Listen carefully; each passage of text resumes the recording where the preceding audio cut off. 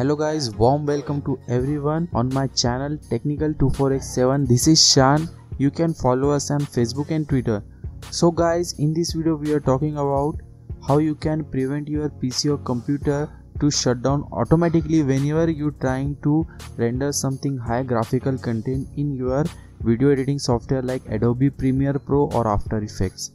If you are facing the same kind of this problem then this video is only for you guys technically talk these things happen due to two main reasons. First is lack of power supply and the second is heat issue. So after applying this technique still you facing the same problem means you need to upgrade your power supply mode. Second thing is heat issue so we are taking care of it. Simply open your application. Like I am using Adobe Premiere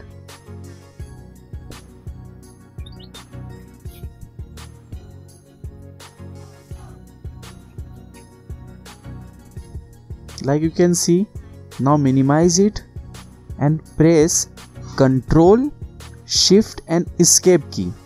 It will open a Windows Task Manager. Then just select your application right click go to process.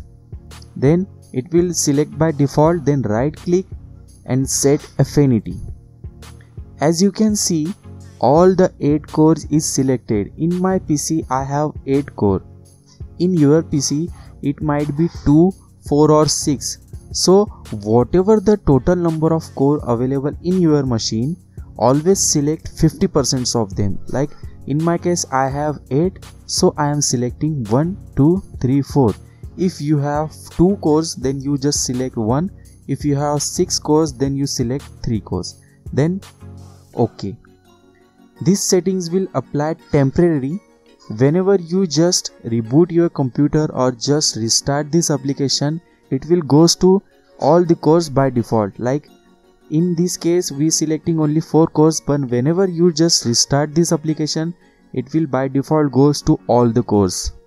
So this will prevent you some heat issues in your machine but applying this process it might take some time of your rendering.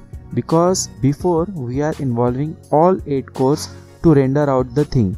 But now we are involving only 4 cores. Means we just raised 50% of cores. This means it will take some time to render out your things. So this means it will take some time to render out things. Like if you are rendering a 10 minutes video in 5 minutes it will take 10 minutes. After applying this still you facing the same problem. Means you need to have to upgrade your power supply so go to some retailer or just some computer technician for more details. And second thing is i'm not sure this will going to work in your pc or not but in my case it works significantly. So if you think it's helpful then please come back to my video and like my videos. And don't forget to subscribe my channel. This is Shaan signing out